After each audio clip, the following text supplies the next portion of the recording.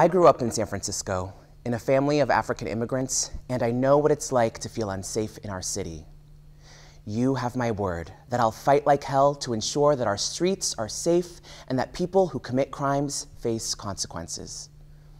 I have a master's in social work from Berkeley, and for 20 years, I've worked to get homeless people off the streets, get people with addiction sober, and get people who've committed crimes to take responsibility.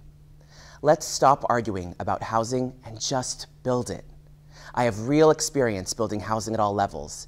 As Chief of Staff to Supervisor Matt Haney, I oversaw the approval of 9,000 units of housing in District 6, more than all the other districts combined.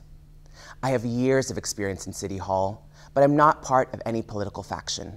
I believe in respectful communication, building bridges, and reaching across the aisle. And I refuse to be a yes man for a government that isn't doing its job, because sometimes city departments need tough love too.